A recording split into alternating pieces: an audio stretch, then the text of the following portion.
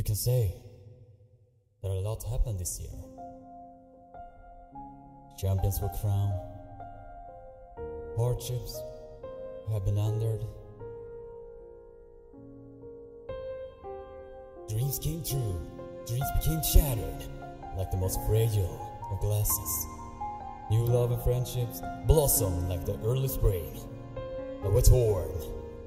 Like a thin piece of paper that fades away with a gentle wind. That's the life of the human being.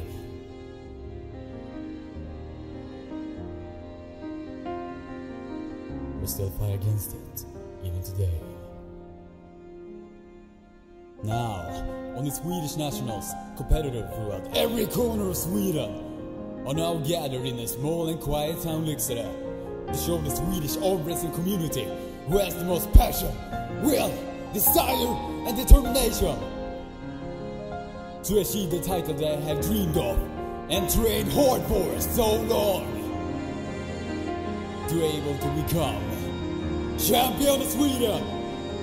On this day, a war will begin between fellow countrymen and women. On this day, for blood, for sweat, for tears of joy and tears of agony, the Swedish national champion crowned in this very hall.